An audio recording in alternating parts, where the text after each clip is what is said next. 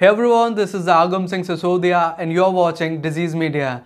Today we are going to know about the treatment of thyroidism that is hyper and hypothyroidism. That is that possible to treat them permanently? If yes, then how? And if no, then why not? But before going further to know about the treatment, let's first introduce us with the thyroid, thyroidism, its cause and its symptoms. Thyroid is a butterfly shaped gland which is present on the front of your neck that works to produce thyroxine hormone that is used for the metabolism of the body to generate, to activate, to control the metabolism of the whole body. But when the thyroid gland becomes malfunctioning and start to produce a very less amount of thyroxine or very a high amount of thyroxine, then the problem of thyroidism arises. In the case when the thyroid gland producing a very small amount of thyroxine, the condition is known as hypothyroidism, in which due to the lack of thyroxine hormone, the metabolic activities of the body slows down and the person gain lots of weight and start feeling tired and weakness. While in the case of hyperthyroidism,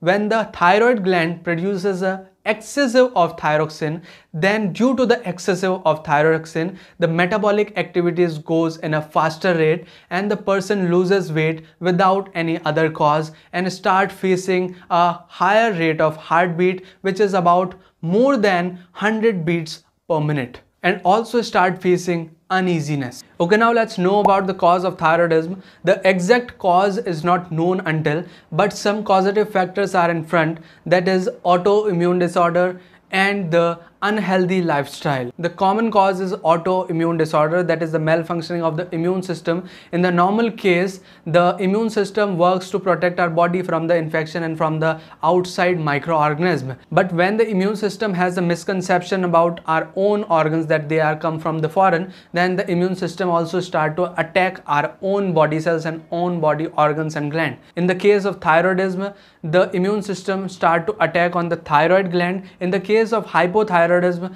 the immune system start to damage the thyroid gland that leads to the less secretion of thyroxine from the thyroid gland. While in the case of hyperthyroidism, the immune system stimulate the thyroid gland to produce excessive of thyroxine hormone. So that's how thyroidism is caused. Now let's move on to the treatment of thyroidism. Now you are glad to listen that there is the 100% treatment of thyroidism means that you can treat the thyroidism 100% effectively. But there is a bitter and real truth that you can't treat the thyroidism permanently. That contains a very big reason behind it that your thyroid gland is malfunctioning due to the activity of immune system that you can't change. This is a situation like that whenever you broke a glass vessel, you can't reconstruct it like the before one whether you reconstruct it like the previous shape but you can't heal the breaks between it. So that's the same situation with the thyroid that you can treat it but you can't cure it. So now there is no cure but there is treatment so let's know about it. In the case of hypothyroidism in which there is a deficiency of thyroxine hormone in your body so to recover it you just have to take artificial thyroxine hormone from outside your body in the form of pills or tablets that are prescribed by your doctor that will restore your body metabolism to the normal stage while in the case of hyperthyroidism in which there is a excessive of thyroxine release in your body. So to maintain it to a normal level, the doctor will prescribe radioactive iodine therapy, the surgical treatment or the suppressive medicines that will suppress the excessive production of thyroxine in your body so that the metabolism of your body normal. But there is a very important point that you have to note that you have to maintain a good activity for your body and have to take a very balanced diet for your body that will help you to recover from the situation and also it will take away the diseases which may come in future with you.